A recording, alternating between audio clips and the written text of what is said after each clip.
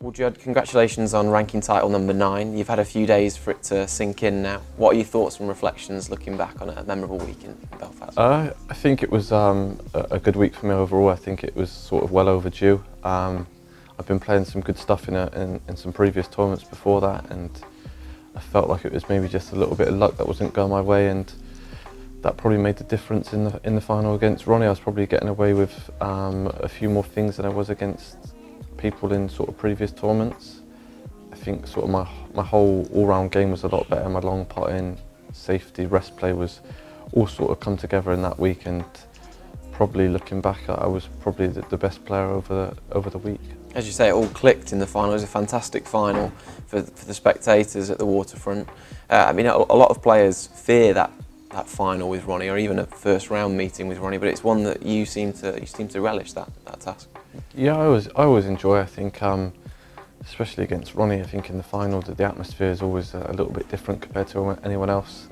I think it always gets me up for it just that little bit more. There's slightly less pressure. I'm not expected to win. I can sort of go out and relax a little bit more, and that was probably the most relaxed I've ever felt in a final against him. I think um, I just tried to really enjoy it rather than worry about losing and I think in the end it kind of showed at, at the end I, I, was able just to sort of step it up when I really needed to.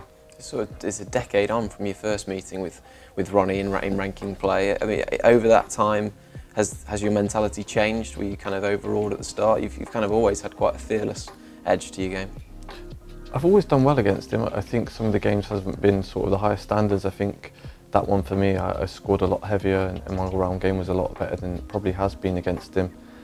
I think um, certainly at the start of my career, even though I beat him a few times, it, it was only, I don't know, just sheer determination really got me through that. I think um, you're under a lot of pressure when you play him at the start, but I think the last couple of times, I lost close last time, 6-5, and this time I've beat him. I think he's just sort of just trying to enjoy it that little bit more and um, maybe put the pressure more on him than it is on me. Much was talked about your ranking title drought. I know you were, you were kind of sick of us asking you about when the next one was going to come. Now it has come. I guess you, you feel that you're, you're leading that, that pack of 20-something players. You feel you're very much at the forefront of that. I think so. I think my, my record is um, certainly above um, anybody else's for, for my age range. I think um, it is tough. I think that there's sort of the same players dominating over the past season or two. You've got Mark Selby, Ronnie, Mark Williams winning every event they go in, and they're sort of um, three of the sort of best five or six players of all time. So it's tough to compete with them all the time, but I think consistency-wise, I'm getting a lot better. I'm sort of always there or thereabouts at most tournaments in the quarter-final stage, and it sort of, certainly takes sort of a, a special performance to beat me recently. Of course, Stephen Hendry, Ronnie O'Sullivan, John Higgins have set the bar so high with how many ranking titles they've won. Do you feel like you can you can come close to the number that they've won, or, or you know, kind of, is there a, is there a, an aim that you that you've set in your mind? Not really. I, I, I haven't really set any real targets. It's just sort of about enjoying it at the moment, and and probably this last one was the most I've ever enjoyed a tournament win. I think um, over the past couple of seasons, I've maybe put too much pressure on myself to go out and win every tournament I'm playing in. So it was nice to just sort of just play freely and just enjoy it a lot more than I have been doing. I think um, yeah, I think there's no reason with the amount of tournaments that I shouldn't be able to sort of get to the 20 mark. I don't want to put too much pressure on myself, but I think um, then, then, you're obviously getting to a level that it's only really Mark Selby and Mark Williams are, are near that, that range, and then you're sort of getting to the best of all time with, with Ronnie and John Higgins, Stephen Hendry. So um, I, I think for me it's just about enjoying it and trying just to nick the odd tournament here or there and if I, if I suddenly can win two or three tournaments in a season, then then there's no reason uh, in the future why I can't get to maybe 25. The crowd in at the waterfront were right behind you, weren't they, all through the week and, and in the final. Did that surprise you at all?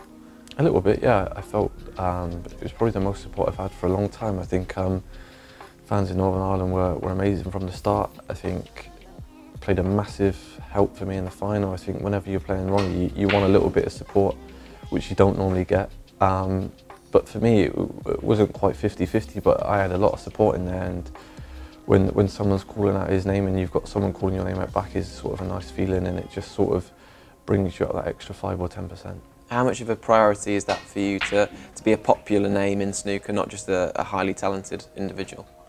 I think um, for me is, is important. I think it helps. I think um, obviously you can go about your business winning tournaments without that, but I think when you really need it under under pressure and maybe you go one frame behind and you've got people cheering out. I think when you're sat in your seat and you're not getting anything is a bit of a different feeling to have a lot of support behind you. So I think um, sometimes when you're down a bit, you're not that confident and you've got these people cheering for you, then I, I certainly think that that can add an extra bit of uh, incentive to your game. Course, you have nine ranking titles, as we say. If you have one more, you'll join a, a group of players who have, who, have, who have, won 10. You'd be the 10th player to do that.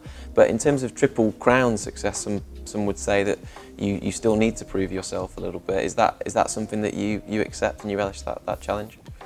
Yeah, I, I know I need to kind of do not, not do better, but just win, I think, in these big events. I've, I've proved I can get to sort of the semi-final, final stage of all of them.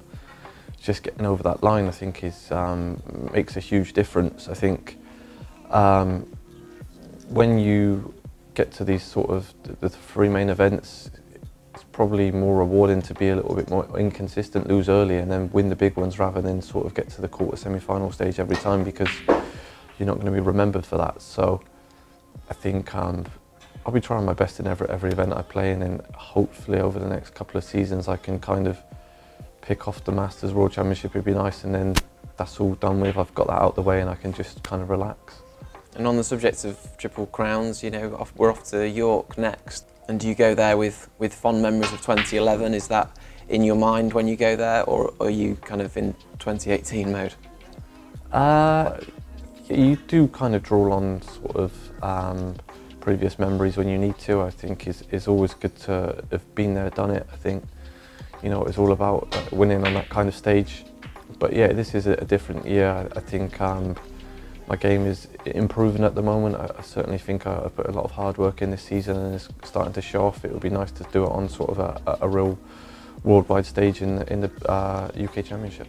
And to win back-to-back -back ranking titles would be some statement of intent. Yeah, I've got close a couple of times.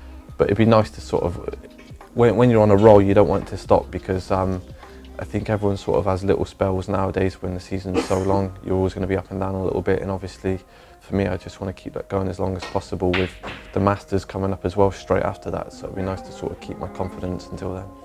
And best of luck, Judd. Thanks a lot. Cheers.